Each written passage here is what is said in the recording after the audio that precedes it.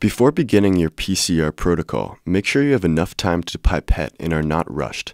It is helpful to set aside needed primer dilutions as well as make the qPCR plate sheet and calculate your master mixes the day before your run. The most important thing in qPCR is precision and cleanliness, so please wear gloves and make sure your work area is RNase free. You can do this by using the spray or the bottle found near the sink. RNase should be applied to all surfaces in the work area, as well as pipetters or writing utensils that will be used.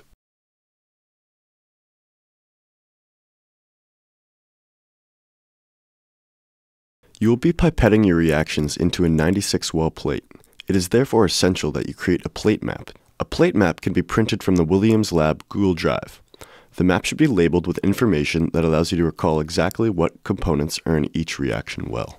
The initial step of the qPCR protocol using Brilliant 2 SYBR Green qPCR master mix is to add 12.5 microliters SYBR Dye, 1 microliter of the forward and reverse primer, 9.5 microliters of molecular biology water, and 1 microliter of cDNA template together for each reaction well.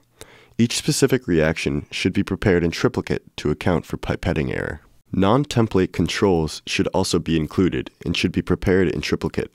The total amount of SYBR dye used should be recorded on the dye bottle. This allows for your colleagues to know how much dye remains. It may be helpful to create a master mix to avoid pipetting small quantities. If different cDNA samples must be tested, a master mix without cDNA can be prepared. It is also important to keep the reaction ingredients cold, thus do all your work in an ice bucket and avoid exposing any of your materials to heat. The second step in the qPCR procedure is to add the reaction mixes to the 96 well plate. If a master mix without cDNA was prepared, then the master mix should be pipetted into the wells first, followed by the cDNA sample specific to the reaction. Bubbles can be hugely problematic, so be very careful not to make them while pipetting. Additionally, materials being pipetted into the 96 well plate should be gently mixed by pipetting up and down several times. When you are about halfway done pipetting your qPCR reactions, Go to the qPCR machine and turn on the lamp.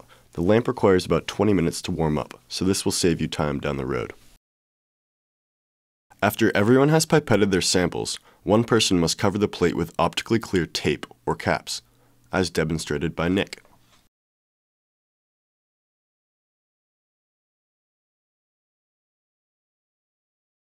At this point, you should take a look at all of your reaction wells. If the liquid is not at the bottom of all of the wells, use the qPCR plate spinner to get the liquid to the bottom. It helps if the spinner is stabilized against a hard surface like the edge of the bench before spinning. It is now time to use the qPCR machine. If you have never used it before, go see Larissa. Bring your qPCR plate to the qPCR machine on ice. Log into the computer and open the MX Pro qPCR software application on the desktop. Choose the SYBR Green option when prompted.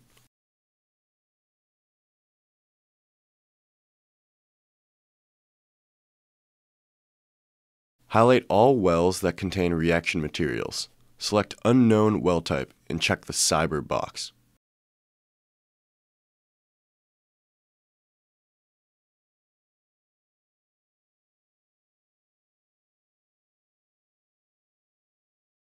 Place the qPCR plate in the Stratagene MX3000P machine as demonstrated.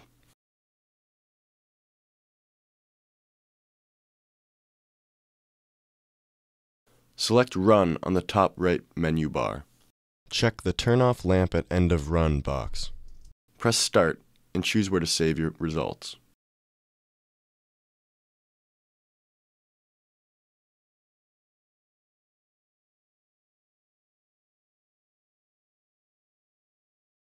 The qPCR machine will take approximately two and a half hours to run.